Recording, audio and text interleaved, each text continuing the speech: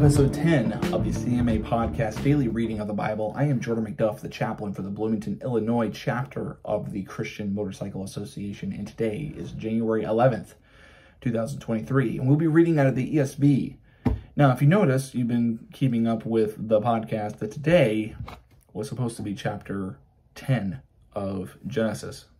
And uh, yeah, so I read that. Um, it was uh, impossible for me to pronounce. So I'm going to be honest with you. Per the reading plan, we're supposed to be reading 10 and 11 today, kind of getting over the uh, Shem, Ham, and uh, the Terah's descendants, and then Shem's descendant, descendants, and all of that. So, so here we go. I am going to skip Genesis 10 because I cannot uh, physically pronounce it.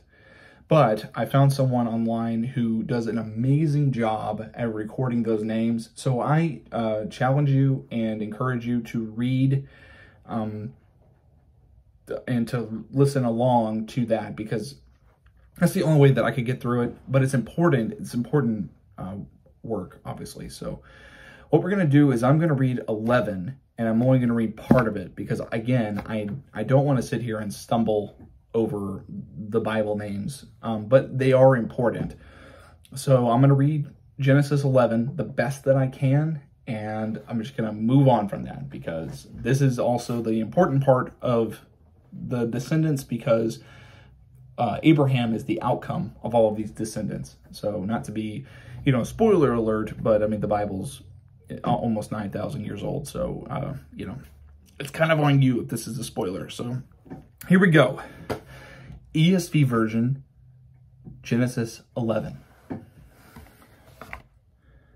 Now the whole earth had one language and the same words. And as people migrated from the east, they found a plain in the land of Shinar and settled there. And they said to one another, Come, let us make bricks and burn them thoroughly. And they had bricks of stone and bitumen for mortar and they said, Come, let us build ourselves a city and a tower with its top to the heavens. Let us make a name for ourselves, lest we be dispersed over the face of the whole earth. And the Lord came down to see the city, and the tower from which the children of man had built.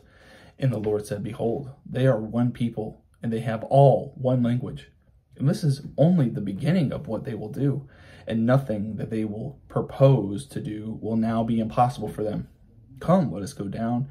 Go down there and confuse their language, so that they may not misunderstand, so they will not understand one another's speech. So the Lord dispersed them from there over the face of all the earth, and they left off building the city.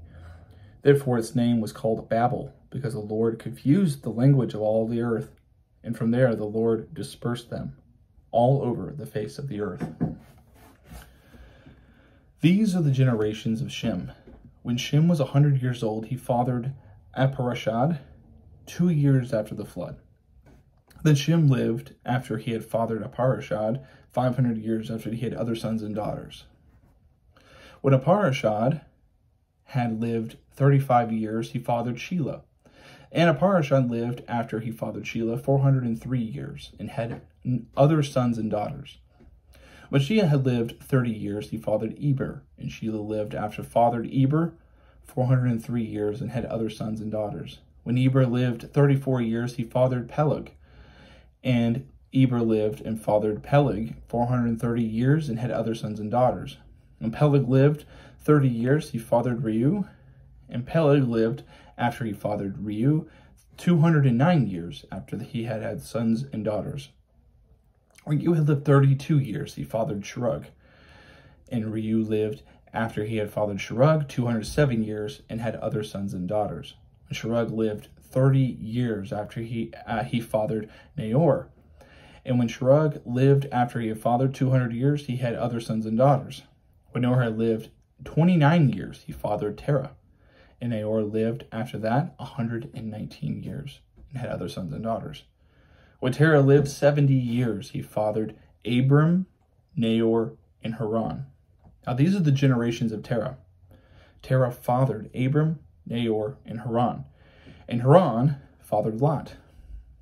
Haran died in the presence of his father Terah in the land of his kindred, in Ur of the Chaldeans. And Abram took and Abram and Nahor took wives. The name of Abram's wife was Sarai, and the name of Nahor's wife was uh, Milcah, and the daughter of Haran, and the father of Milcah and Iscah. Now Sarai was barren; she had no children. Terah took Abram and his son, and Lot, the son of Haran, and his grandson, and Sarai, his daughter-in-law, and his son and his son Abram's wife, and they went forth together from Ur of the Chaldeans to go to the land of Canaan. But when they came to Haran, they settled there. The days of Terah were 205 years, and Terah had died in Haran.